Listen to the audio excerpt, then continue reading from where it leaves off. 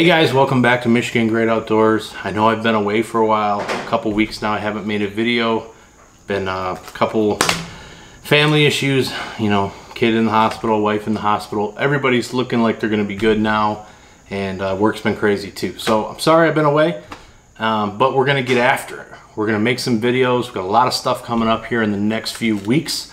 Probably about 43, 44 days out till deer season. Total Archery Challenge next in two weeks. So I'll be there Saturday and Sunday. Gonna be doing some filming out there. You know, we'll see how it goes. I've never, you know, filmed on the mountain and then my wife just had her appendix taken out. So she was gonna do the filming. Hopefully it works out.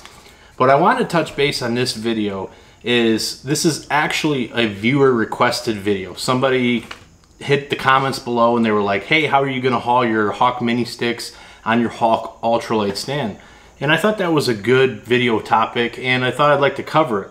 So this is what I came up with and part of it's my design, part of it's not my design. And I'll get into the part that's not my design. I saw it actually on social media.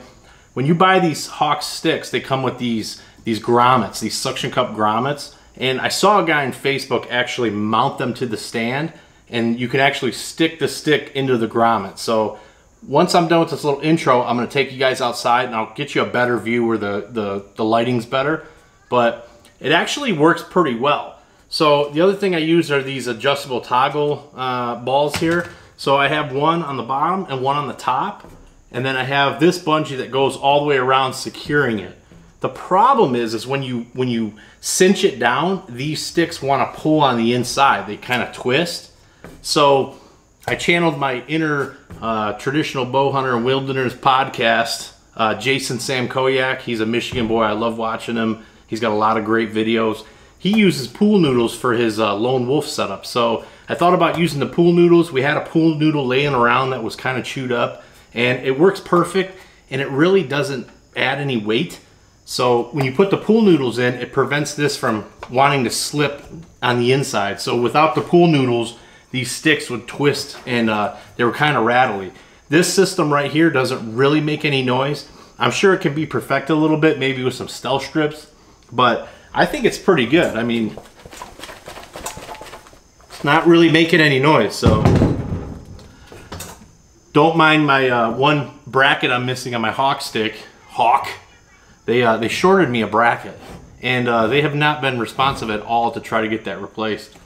But, you know, this is a viewer requested video. I really like doing stuff like this, so if you have any requests or comments or videos you want me to make, just comment down below and say, hey, you know, can you make a video on this? And if I can do it, I'll do it. If I can't, or if I don't have the product or I can't buy the product, then I, then I won't make it. But also, if you want to see viewer requested videos, you can go to Facebook, Michigan Great Outdoors on Facebook. You can uh, hit me up on there on the messenger, or you can go to Instagram at Michigan underscore great underscore outdoors. So yeah, let's go outside and uh, get a closer look and I'll show you guys exactly how I did this.